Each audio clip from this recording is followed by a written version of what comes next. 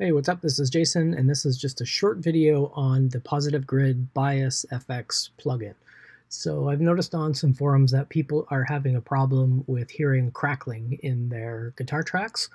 So I was just working on a song, and I have the Bias FX on six different tracks, and uh, I noticed the same thing. So the first couple of things that you can check out is in your DAW, whichever one that you're using, uh, in Logic, you hit Command and comma, and that will bring you to your audio preferences. And one thing to check is the I.O. buffer size. So the lower the buffer size, the harder it can be for Logic, at least, to keep up with uh, real time with all of the plugins that you have. So there is another advanced option for Logic where you can actually set a threshold and it will disable plugins if um, Logic isn't able to play it. So one thing that you can do if you are getting some crackling is to increase your buffer size. I normally have buffer size uh, down to 32 and then I turn on low latency mode and uh, when I'm tracking and then I increase it to 512 or even 1024 when I'm in final mixing stage. So that's the first thing that you can check, um, which didn't solve my problem. So that led me to poke around within BiasFX. So in BiasFX, you can adjust the output settings uh, within the interface. So down here, there's an option for output settings, and this is where you can mess around with the preamp, the tone stack, the power amp, and the cabinet. So you can turn all of those on and off, and you can adjust EQ compensation for each one individually, depending on which ones of these you have checked. So by default, these are all at unity, so uh, they're all at zero, if you will, uh, or right in the middle. And I'm going to play the one uh, guitar here on the left, and you'll hear some of the crackling in a few of the parts.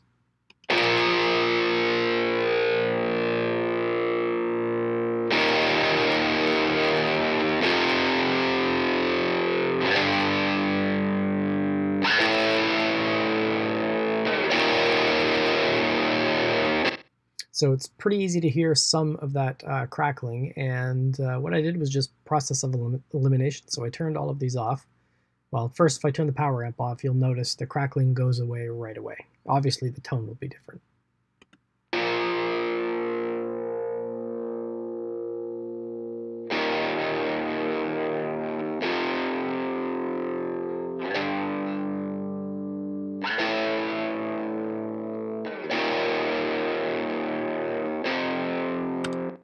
So the crackling is gone right away, but it doesn't have the same kind of meaty tone. And you can notice the input volume is getting close to zero dB. Um, so it's a pretty hot input signal. So if you turn the power amp back on and you can play with your EQ settings here, what worked for me to get rid of it was to just lower the resonance uh, on the power amp and take uh, some of the high end off the power amp as well. So here's how it sounds.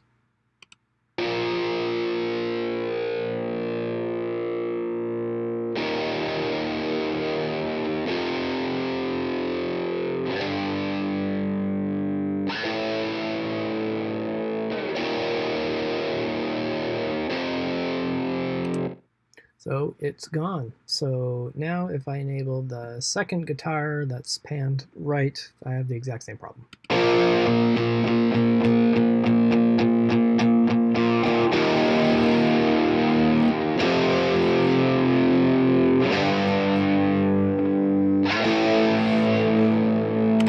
So you can hear some of the crackling there too. So if I turn uh, these down as well, Let's enable both of those. Go into the stack power amp, turn on EQ compensation, turn this down, turn this down, and voila, should be gone.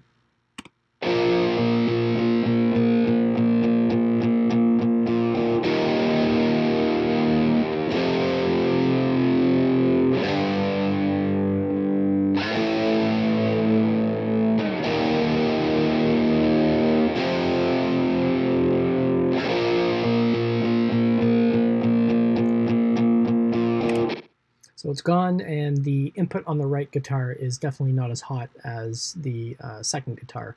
that I played, it's peaking around negative 6 dB. So in whatever DAW you're using, I know in Logic it has a CPU monitor here as well.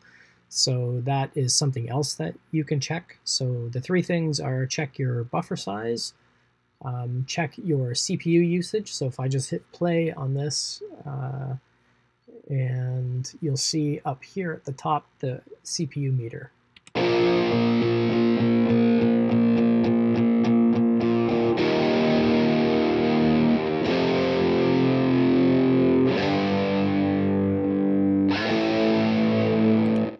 So the CPU load isn't that terribly high. If I turn on all of the guitars, the clean and the heavy ones, let's see what the CPU load looks like.